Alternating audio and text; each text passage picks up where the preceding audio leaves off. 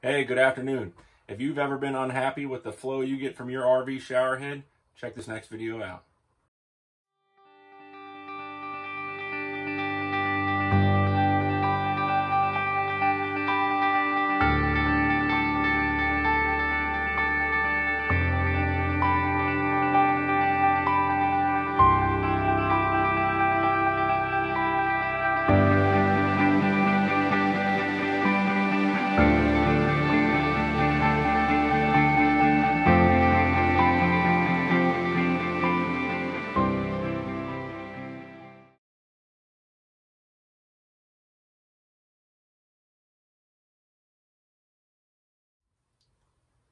Hey, good afternoon. Chris here with Jarvis Outdoors. I'm out in the camper today, and as you can see, I'm in the bathroom.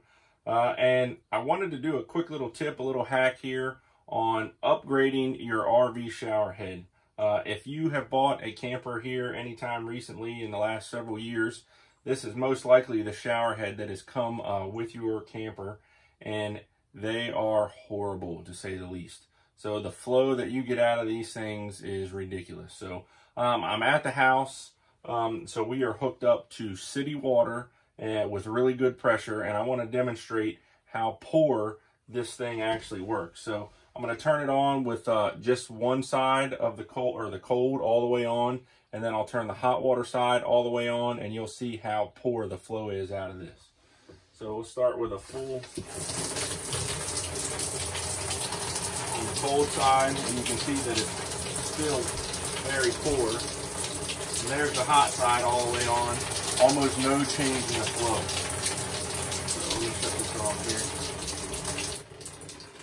here. So I did both sides all the way on uh, just to show how poor the flow is uh, with this thing.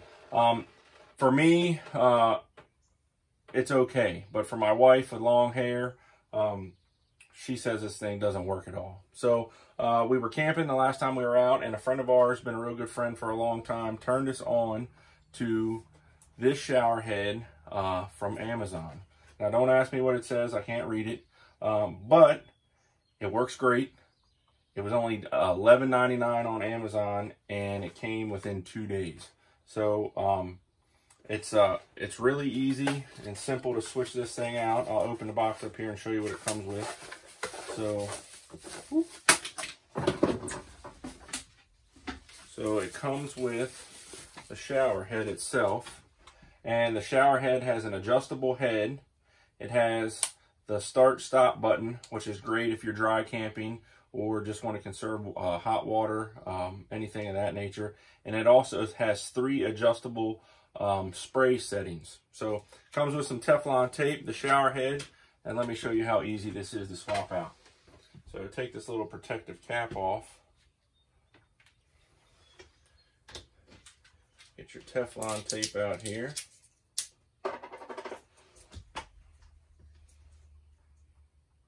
Really easy, no tools required for this.